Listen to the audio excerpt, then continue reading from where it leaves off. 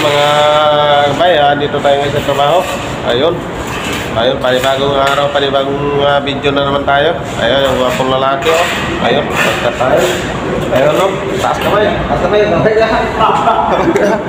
babay ka, babay. Taas ka.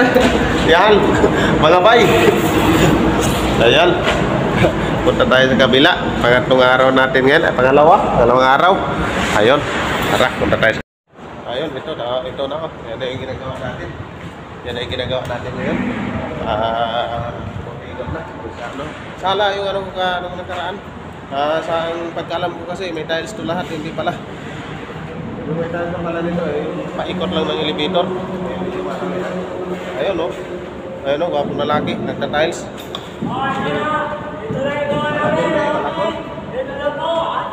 Ayun, kalagon niya no. Yan.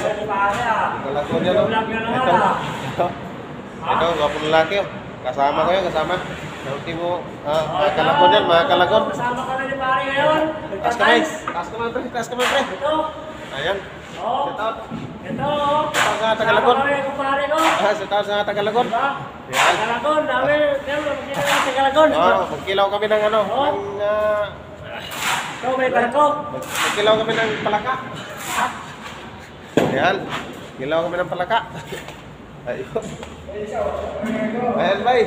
Ayan, mga bay. Ayan, mga tagalong kasama ko sa trabaho. Mag-iisang taon na kami. Ayan. Team talaga. Saan? Ayun na. Okay, isa oh. Okay. Ayan. Ayan. Ayan, pang lalaki. Ako. Ayan. Kasama kami nito ulit pare. Taas kamay. Taas noo. Ayan.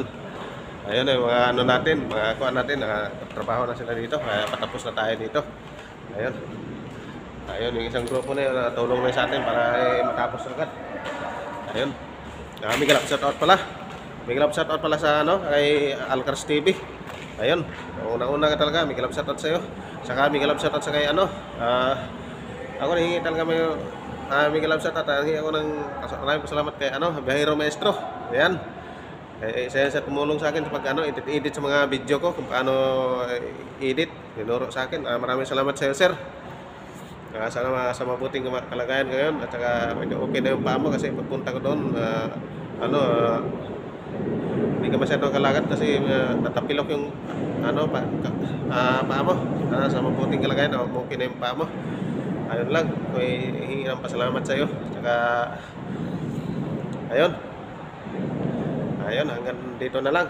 Kaya ako'y ano pa, uwi pa. Hanggang hanggang dito na lang, ang ano na, kita-kita na lang tayo sunod. Ah, yun, maraming salamat.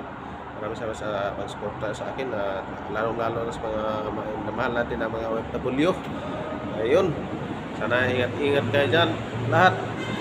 Ingat kayo dyan lahat sa pagtrabaho kasi malayo kayo sa atin sa bansa. Ah, Hindi kayo anytime na makaka-uwi. Ayun, maraming salamat. Okay, kita-kita na tayo sunod. Uh,